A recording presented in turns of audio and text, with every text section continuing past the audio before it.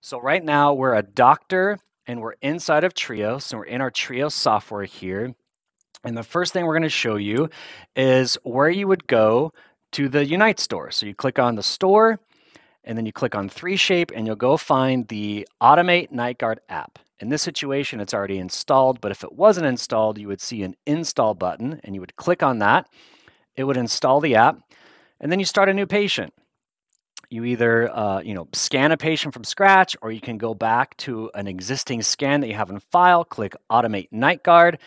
and what it's going to do it's going to take that scan upload it to the automate night guard portal and then you get to select your thicknesses your retention your blockout your offset whether what you want an upper or lower arch and also how fast you want it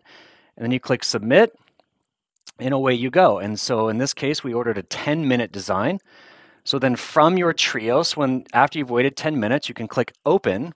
and now you see a series of screenshots. So these show you um, the border placement, the crevice blockout, the occlusal contact, and then from there, you're going to go download the printable file at your printer PC. So what you do is you go over to automate.3shape.com and then you download the STL files from there and then you load them into your printer.